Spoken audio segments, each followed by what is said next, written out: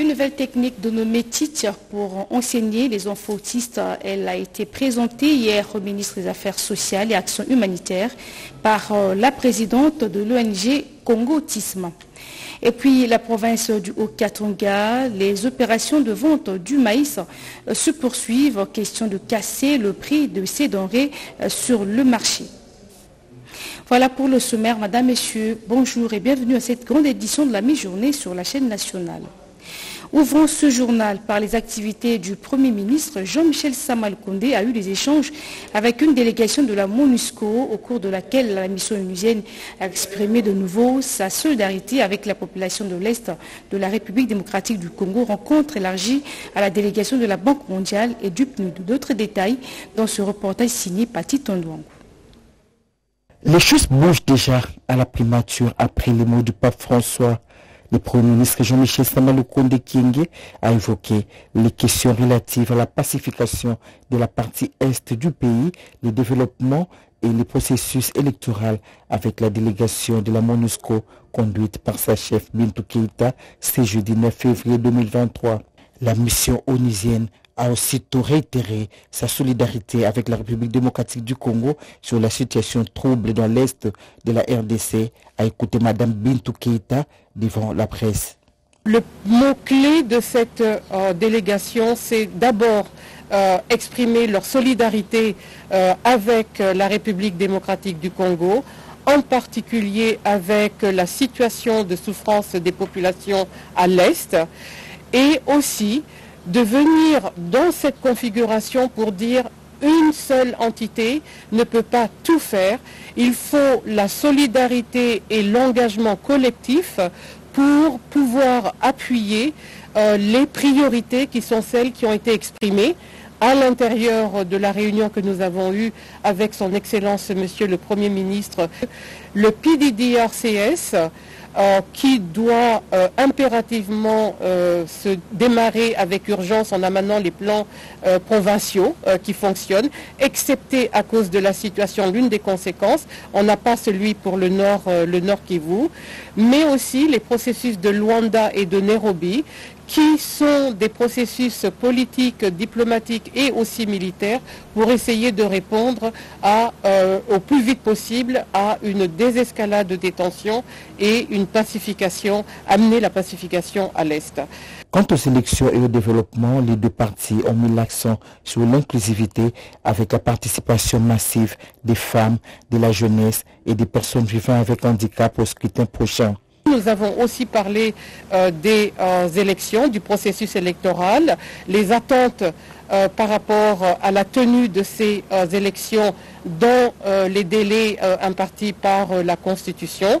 La MONUSCO sollicite ainsi la main et la volonté de tous pour gagner le double pari de la sécurité et du développement, car il n'y a pas de développement sans la paix et vice-versa. Les sous-secrétaires généraux des Nations Unies sont à Kinshasa pour faire l'évaluation de la feuille de route de Luanda. Ils étaient en réunion avec le haut représentant du chef de l'État. Explication et détails dans ce reportage. Ils sont venus s'imprégner de l'évolution des processus de paix de Nairobi, de Luanda et du PDD-RCS, programme de désarmement, démobilisation, relèvement communautaire et stabilisation. En séjour à Kinshasa, ces sous-secrétaires généraux des Nations Unies, quatre au total, se sont abreuvés auprès du haut représentant du chef de l'État pour le suivi de la feuille de route de Luanda et du processus de Nairobi. Des échanges tenus au siège de la mission onusienne en RDC et en présence de la chef de la MONUSCO. Dans sa prise de parole, Serge Chibangu, haut représentant du chef de l'État, a expliqué à ses interlocuteurs tous les mécanismes mis sur pied pour amener la paix en RDC et dans la région de Nairobi 1 à Nairobi 3, mais aussi les perspectives d'un Nairobi 4. Le haut représentant du chef de l'État a également fait savoir aux délégués des Nations Unies que les processus de Luanda avec la feuille de route n'a pas été respecté par les terroristes de M23. La synergie qui existe entre le processus de Nairobi et de Luanda, mais aussi le programme DRCS, a été bien ressorti et présenté lors de cette rencontre. À en croire Serge Chibangu qui déroulait en même temps la vision du chef de l'État, il existe un lien entre le processus politique, les volets sécuritaires et celui du développement qui prend en compte le programme des 145 territoires Un lien bien expliqué aux partenaires de la République démocratique du Congo qui ont promis par ailleurs d'appuyer les pays en matière des ressources, mais aussi par des conseils techniques pour pouvoir naviguer sur les trois volets qui sous-tendent la vision du président de la République. Comme après chaque voyage apostolique, le pape François dresse un bilan de sa visite. Le 8 février dernier, le souverain pontife s'est dit satisfait de son 40e voyage en RDC au Soudan du Sud, accompli du 31 janvier au 5 février 2023. Reportage. Bonjour, chers frères et sœurs, bonjour. La semaine dernière, j'ai visité deux pays africains, la République démocratique de Congo et le Soudan du Sud. Je remercie Dieu qui m'a permis de faire ce voyage tant désiré. Tous deux rêves, rendre visite aux Congolais gardiens d'un pays immense, poumon vert de l'Afrique, avec l'Amazonie, ce sont les deux poumons du monde. Terre riche de ressources et ensanglantée par une guerre qui ne se termine jamais, car il y a toujours ceux qui alimentent le feu. Pour rendre visite au peuple du Sud-Sudan dans un bel héritage de paix ensemble, l'archevêque de Canterbury, Justin Werby, et le modérateur général de l'Église d'Écosse, Christled, nous nous sommes allés ensemble pour témoigner qu'il est possible et juste de collaborer dans la diversité, surtout si l'on partage la foi dans le Christ. Le briefing quotidien de l'actualité congolaise a été animé par le ministre de la Communication et Médias Patrick Muyaka Temboué. La ministre près le président de la République, Nana Manoïna, est intervenue euh, sur euh, le conflit intercommunautaire à Kwamonto. On l'écoute. Nana Magnonina, merci de vous joindre pour la première fois d'ailleurs à cet exercice de rédévabilité. Nous espérons vous recevoir dans des prochains débats, mais ce soir nous voulons particulièrement que vous nous dites quelques mots sur euh, la mission euh, que le président de la République vous a euh, confiée, pas vous seul, mais avec le collègue de l'Intérieur, pour ramener la paix dans cette partie de la République démocratique du Congo. Vous avez donc la parole pour vos mots introductifs. C'est justement dans les soucis de pouvoir donner de la place au dialogue face à un conflit issu de la redevance coutumière, un conflit qui n'oppose pas seulement les Teke et les Yaka parce que certains ont déjà intitulé les conflits conflits Teke et Yaka. J'aimerais peut-être faire un point pour dire que ces conflits ne devaient pas être résumés euh, entre le peuple Teke et Yaka, mais c'est plutôt un conflit entre les Teke et les fermiers. Ici, il faut préciser que cette mission a trois phases. La première phase est celle de pouvoir évacuer tous ces enfants, que ce soit des enfants Teke ou Yaka, qui ont accepté, qui ont répondu euh, positivement à l'appel du chef de l'État, de pouvoir rendre euh, le- le- les armes. La deuxième mission euh, viendra pour la réconciliation. Cette fois-là, il faudra aller sur terrain avec la notabilité du terroir, le, vrai chef Teke Eyaka, pour organiser une réconciliation. Et la troisième phase sera consacrée à la justice. Le vice-ministre de l'Intérieur nous parle de l'état d'avancement de la mission de pacification dans le Grand Bandundu. D'ici 2023, la RDC sera dotée d'un centre culturel et artistique et d'un institut des arts. Assurance des ingénieurs chinois au ministre d'État, ministre des Infrastructures et Travaux publics après une visite d'inspection sur ce site situé en face du Palais du Peuple à Kinshasa. Ce site comprend non seulement un centre culturel et un institut national des arts, mais aussi un centre d'accueil, un gymnase et d'autres espaces sportifs. En compagnie d'une délégation chinoise qui exécute ces travaux qui ont démarré depuis le mois d'octobre 2019, le ministre d'État des ITP se dit satisfait du taux d'exécution des travaux. En termes d'état d'avancement, nous sommes à peu près à 70% aujourd'hui, donc nous pouvons penser que les 30% restants vont pouvoir être achevés dans les mois qui suivent d'ici le mois de, euh, décembre. Euh, donc ça veut dire que le projet est sur une bonne lancée et nous avons des raisons de, croire que les délais seront respectés. Il y a quelques contraintes quelques requêtes qui nous ont été adressées par la partie chinoise. Donc nous avons des solutions que nous allons proposer à la partie chinoise dans, dans la zone des travaux, mais également nous devons aussi trouver des solutions adéquates pour ce qui concerne la fourniture d'énergie. Une fois achevé, ce projet évalué à 100 millions de dollars américains apportera une nouvelle touche dans la carte postale de la capitale congolaise. Vous voyez donc là de suivre les travaux de construction du centre culturel et artistique pour les pays de l'Afrique centrale et de l'Institut national des arts qui ont atteint 70% de taux d'exécution. Le constat a été fait par le ministre d'État, ministre des Infrastructures. Des têtes d'érosion menacent le quartier d'Elvaux pour éviter des morts à l'image des pluies de décembre dernier. Le bourgmestre de la commune de Ngalima a inspecté les travaux de lutte anti-érosif. Cédric Kenina. Au mois de décembre de l'année dernière, les pluies diluviennes qui se sont abattues ont fait des morts et des dégâts matériels importants. Nous sommes dans la commune de Ngaliema, précisément à Delvaux, où au-delà de tout, les quartiers Punda et Congo se retrouvent menacés par des têtes d'érosion. Pour anticiper et éviter le pire, l'autorité municipale a initié des travaux d'Hercule avec les moyens disponibles. Dieu merci Maïbazi Luanga a effectué une descente pour évaluer les niveaux des travaux.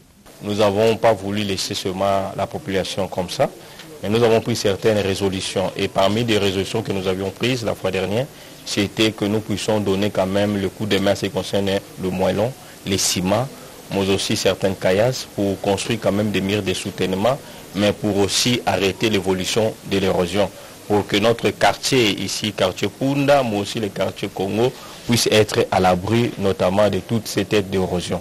C'est pour cette raison que j'interpelle toute la population de la municipalité d'Engaliema et surtout la population riveraine qui se trouve dans des, dans, des, dans des contrées où il y a des pentes, où il y a des raids. Ils doivent prendre des précautions de nettoyer toujours l'air des ventiles, de nettoyer les caniveaux, de tirer l'air caniveau et de faire en sorte que l'eau puisse ruisseler facilement pour que nous puissions être à l'abri, notamment des différentes pluies d'oliviennes qui peuvent venir causer des dégâts.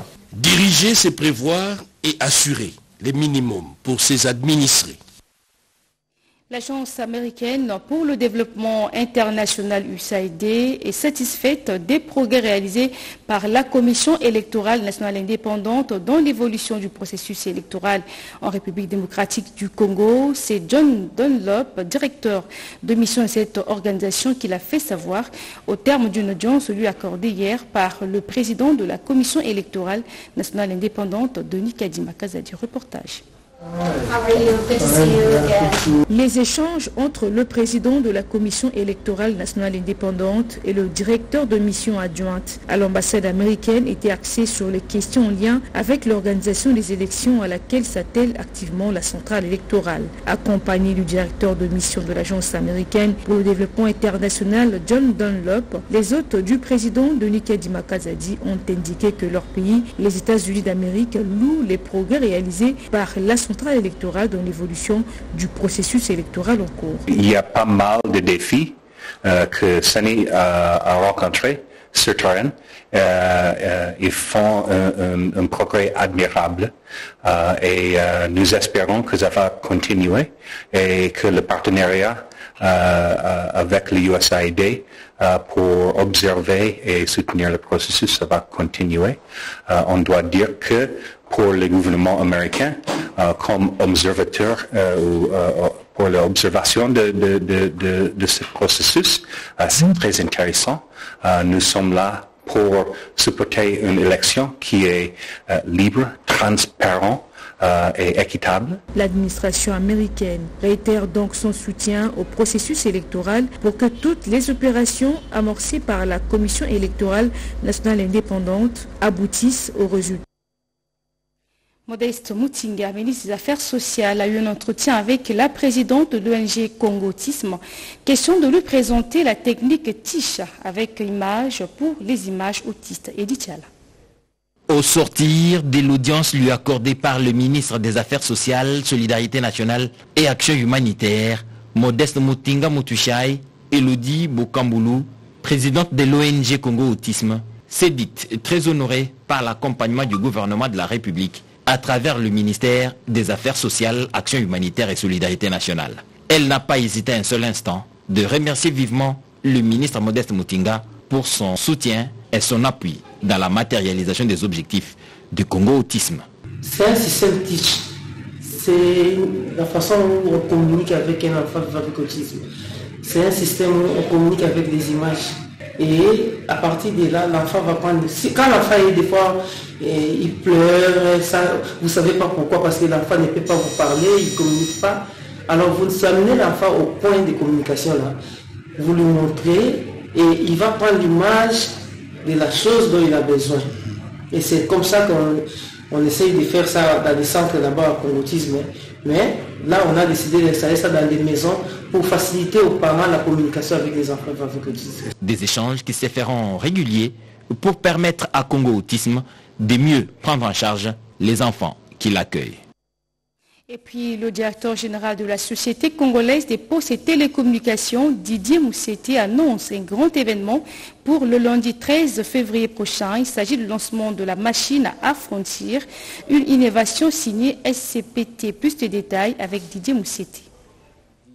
13 février 2023, la Société congolaise des postes et télécommunications organise un grand événement cet événement consiste donc à présenter à nos populations euh, ici au pays notre offre de machines à affranchir.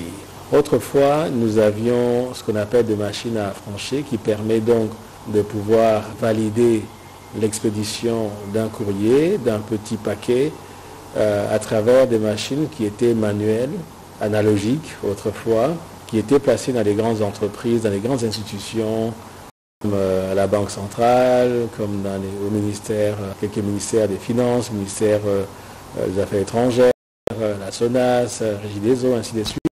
Mais nous sommes à l'ère numérisation, de la digitalisation.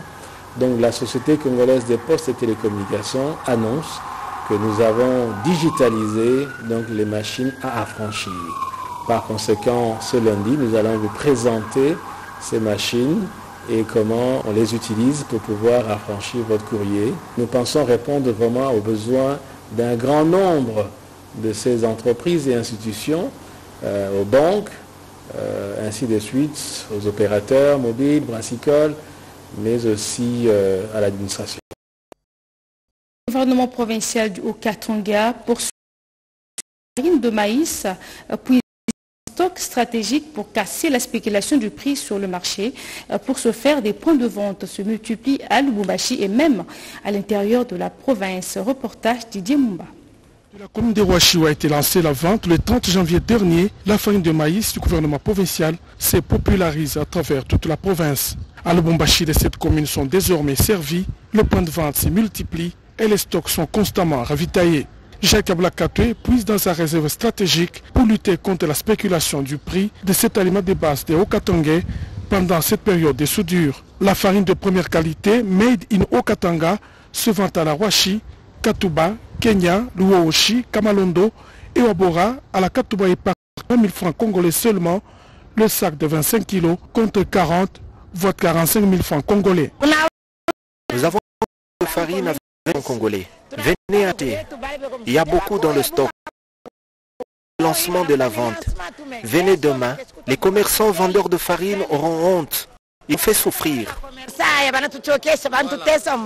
Le gouverneur a même dépêché une quantité de la farine de maïs à Kabungu, capitale de la chefferie de Basanga, à la demande du grand chef Mathieu Pembamoto, et ce, à la grande satisfaction de la population. La mise provinciale de l'Église Kanyeba, qui supervise l'opération, place l'action sous les sociales, priorité du chef de l'État, Félix Tshisekedi. Son Excellence, Monsieur le gouverneur Jacques Yaboulakatoué, a mis un point d'honneur à fournir à la population de la ville de Lubumbashi, en particulier de toute la province, cette denrée rare et si chère à notre alimentation. L'exécutif du Okatanga s'est engagé à poursuivre jusqu'à la fin de la période des soudures et de la spéculation sur les prix de cet aliment de base de Okatanga. En sport, les jeunes Congolais amoureux du sport vont bénéficier d'une bourse de formation en football au Brésil. La séance de détection des talents a eu lieu dernièrement en présence d'une délégation brésilienne. Ça n'a pas duré pour se mettre au travail depuis leur arrivée à Kinshasa. Les trois techniciens brésiliens, José Geraldo, Morilo Ricardo ainsi que Ventura et la structure Golden Ball ont travaillé d'arrache-pied pour mettre à profit de jeunes footballeurs le jeu dénommé Golden Ball. Ce dernier consiste à tirer le ballon dans le filet et c'est là avec comme mission de conscientiser et de stimuler ces jeunes talents avant de procéder au recrutement proprement dit de jeunes footballeurs dont il est question. Cette conscientisation à travers le jeu Golden Ball va se dérouler dans toutes les communes de Kinshasa. La commune de Lingwala est la première bénéficiaire car les hostilités ont vu jour au terrain local à côté de la RTNC. Entre-temps, la satisfaction penche du côté des organisateurs, tel l'a dit l'initiateur de Golden Ball, Zakon Commandant. On est, tellement contents la joie de nos enfants. Alors voilà, on est là, on représente cette régie des Golden Ball. Donc on donne des bourses aux jeunes gens, euh, faire un stage professionnel au Brésil. Nous avons nos partenaires brésiliens qui sont là et qui nous ont accordé cette grâce-là d'entretenir la jeunesse. Donc nous, nous aimons notre euh, jeunesse, nos frères, nos enfants. Donc voilà, ça c'est vraiment un cadeau que nous leur donnons. Cette initiative exige l'implication de tout le monde, car tout un chacun constitue une pierre pour la construction de l'édifice. Avant de faire mille pas, on commence toujours par un. Réalisé par Nono Mansekou Papingi Namaru, ainsi donc s'achève ce journal dans une touche technique de Terence Ngema. Merci de votre sympathique attention. On se retrouve très prochainement. Au revoir.